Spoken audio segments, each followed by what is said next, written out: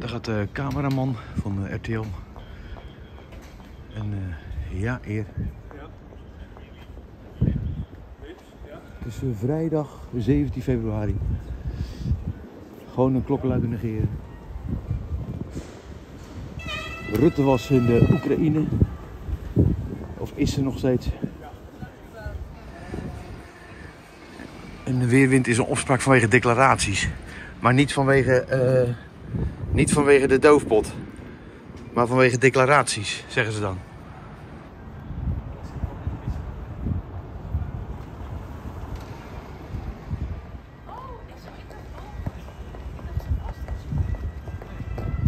Hoi, uh, Anne-Sophia. Heb je mijn brief ontvangen voor uh, Weerwind? Uh, geen idee. Ik heb hem naar je gemaild. Klokkenluidersbrief. Wel belangrijk. Dat is de woordvoerder van uh, Frank Weerwind. Die zit nou ziek thuis. En Jessel Gus.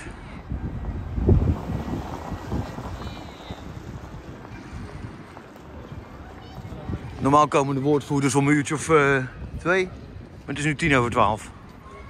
Geen idee, zegt ze. Maar je hebt hem wel binnengekregen, Anna-Sophia Postumus. Nou, zojuist uh, zag ik Daphne Kermans uh, wegfietsen. Dat is de belangrijkste woordvoerder momenteel. Ooit MA17 en nu Algemene Zaken. Nou, de pers moet dit verhaal negeren natuurlijk. Zo werkt dat. Want anders worden ze ontslagen.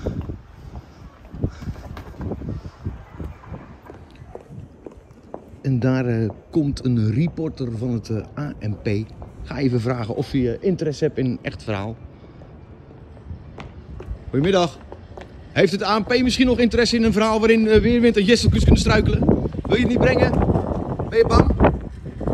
ANP is bang. Is Master's Voice. ANP is van, het ANP is van G Omen en die is ook pro-vaccinaties. Kijk hier rennen. Geen aangifte doen hoor. Pers veilig. Ik ben zojuist gefotografeerd door Bart Maat.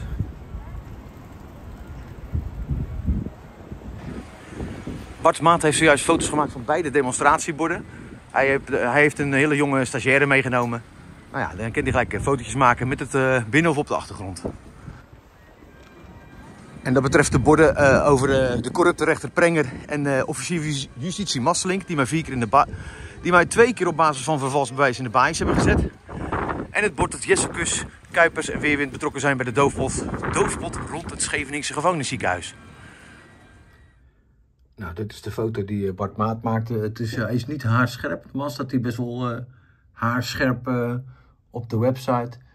Erik van den Burg, nou, die heeft al vaker gezegd dat hij me kent. Maar ja, dan zeg ik van, joh, het is toch normaal dat gefraudeerd en gefraudeerd. En dan zegt hij van, ja, dan moet je bij Weerwind zijn. Maar die Weerwind is nou weer ziek. En Weerwind is op 3 januari 2022 al geïnformeerd toen hij nog geen minister van Justitie was. Hij heeft hier het artikel van mijn zaak in handen, van het Algemeen Dagblad. En hij ging toen op weg naar Rutte om, voor zijn sollicitatiegesprek. Nou, uh, twee da drie dagen later zat ik weer in de gevangenis. Toen ik, op 6 januari 2022 werd ik weer gearresteerd. Ik lach erom, maar het is... Dat jaar, in 2022 werd ik drie keer gearresteerd. Eén keer door de arrestatieteam uit mijn nest gehaald. En Frankie, he knows everything. En daar komt de staatssecretaris van het ministerie van Oorlog, ministerie van Defensie.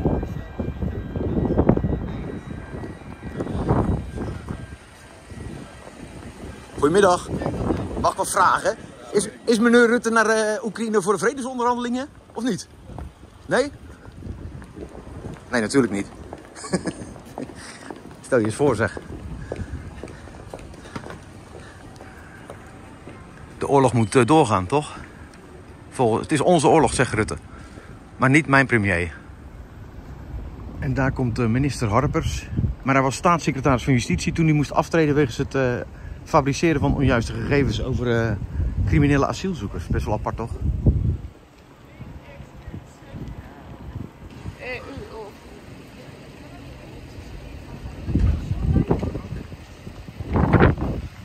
Het is een beetje schichtig kijken. Veel uh, dienst, koninklijke, koninklijke en diplomatieke bewaking. in mijn nabijheid. Ook deze auto is dat.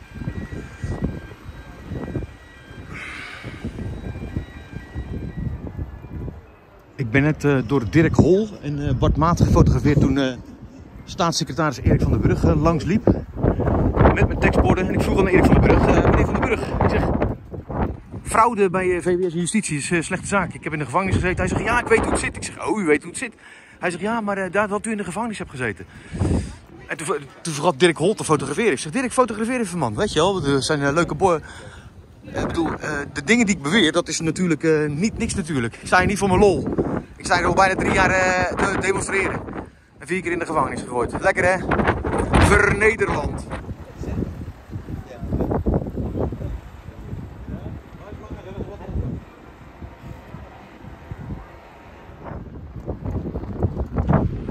uh, de baas van de aan.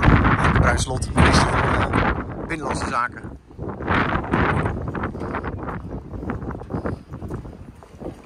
Beveiliging ook natuurlijk.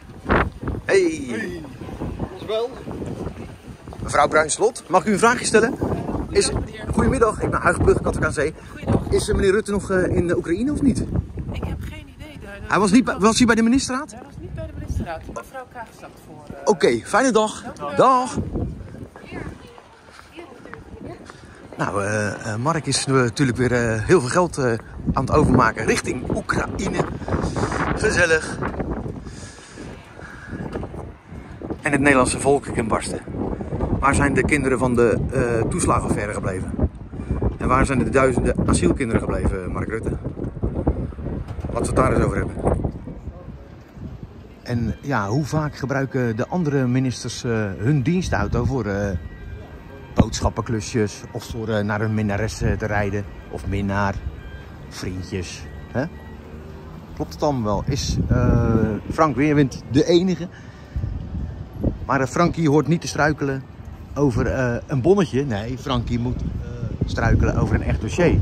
Met name over de fraude bij justitie.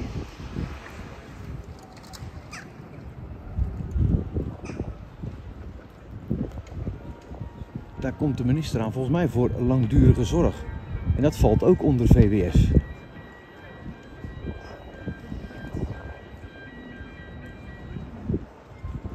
Daar wil ik toch een vraagje stellen.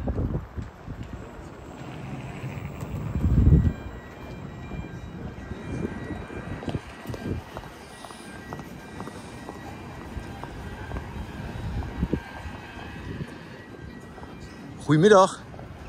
Mag ik u een vraagje stellen? Ik ben Huig Plug, klokkenluider van Justitie. Bent u van langdurige zorg of niet? Bent u daar de minister van? Ja, er is gefraudeerd door uh, uw inspectiedienst met een rapport over het Scheveningse gevangenisziekenhuis. Wat vindt u daarvan? Geen commentaar.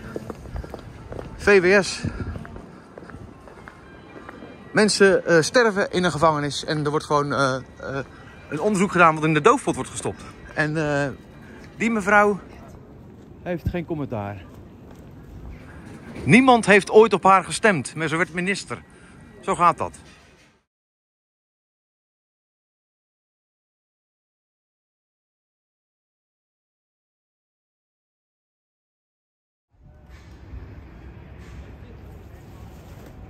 Deze fotograaf, bekende fotograaf, fotografeerde wel mijn arrestatie.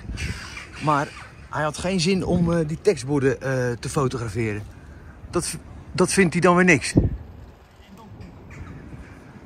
Heerst er dan overal een angstcultuur? Daar gaat de officier van justitie die mij in de gevangenis heeft geplaatst. Wouter Bos.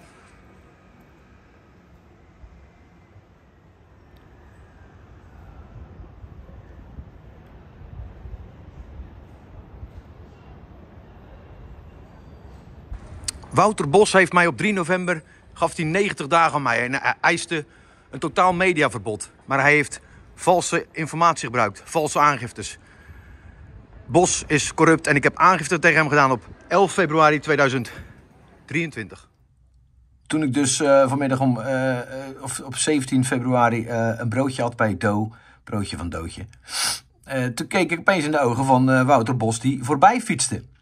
En die zat op 3 november 2022 in de rechtbank van uh, Breda als staande magistratuur eiste hij, eh, hij was lijkbleek, maar hij eiste 90 dagen en een, eh, een, een totaal social media verbod. Dus ik zou 90 dagen de cel in moeten. Ik zeg, joh, ik heb nog een hoger beroep in die Rutte-zaak. En nou ja, donder straalde hem helemaal niet. Hij gebruikte een vals procesverbaal om mij erin te gooien. Nou, Prenger, die ook corrupt is, de rechter, die was het er niet mee eens. maar vervolgens bleef ik nog al 24 uur in een cel zitten. Maar deze Wouter Bos, toen ik de rechtszaal verliet, toen wees ik hem aan en toen zeg ik van... Ik ken jou en ik weet dat jij mijn advocaat kent, die mij ook heeft genaaid. Mevrouw Koster. En Koster die heeft meerdere keren tegen mij gezegd, met de zeikstem... dat Wouter Bos haar probeerde te versieren. Dus ja, dat interesseerde mij helemaal gereed. Maar die, die, die Koster die bleef maar alle privé-informatie van zichzelf en de cliënten aan mij delen. Nou, de advocaat die door de status betaald heeft mij genaaid. En daar heb ik een zware klacht tegen ingediend. En deze man, Wouter Bos, daar heb ik op 11 februari, vorige week zaterdag, een aangifte tegen ingediend. En die moeten zijn collega's gaan onderzoeken. Dat gaat natuurlijk niet gebeuren. Maar ik moest wel even aangifte doen. Wouter Bos, niet vergeten.